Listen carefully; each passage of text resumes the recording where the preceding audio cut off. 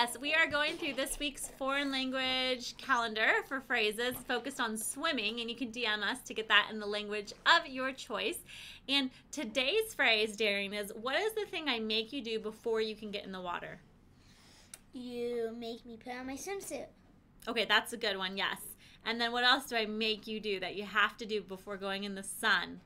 Sunblock. Yes. So today's phrase is we need to put on sunblock. And I'm glad that you're wearing a swimsuit and not just skinny dipping.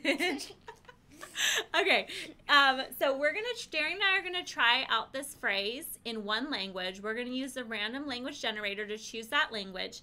But if you already have I apologize. If you already have the $35 phrase book, then I'll show you how to find that mm-hmm. phrase in the language that you have. like right here. It's a super cute kitty. It comes out of the book like this. All right, you got that random language generator? Okay, go. Boom. He chose Italian. Ooh, Italian. Ooh, Italian. Who speaks Italian? Amario. Yes. Try to choose someone to relate it to so we can remember.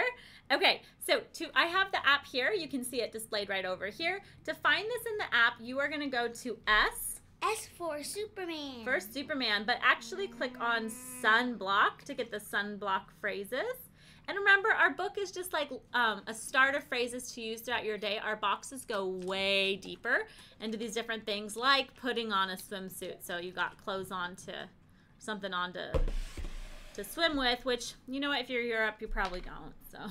Did you know that when you were little and we would take you to like the lake or something to go swimming, all of the other little kids would be naked and we would they would call us the prudes because we would want you to have your swimsuit on. and so they just just different thing. Okay, we need to put on your or we need to put on sunblock. Let's try this out in Italian. I'm going to click it in the app.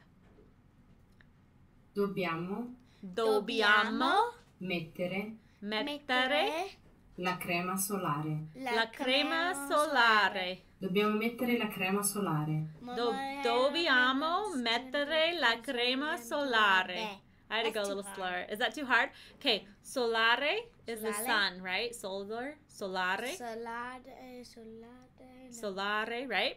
And then crema is like Thank you, Spanish. giant phone right, right, right Yeah. there. So cre- crema, that's like Spanish. You know that one. So we don't do Italian in our home. So putting this together.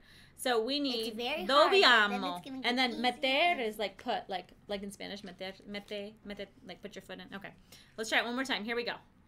Oh wait, I gotta start it from the beginning. Here we go.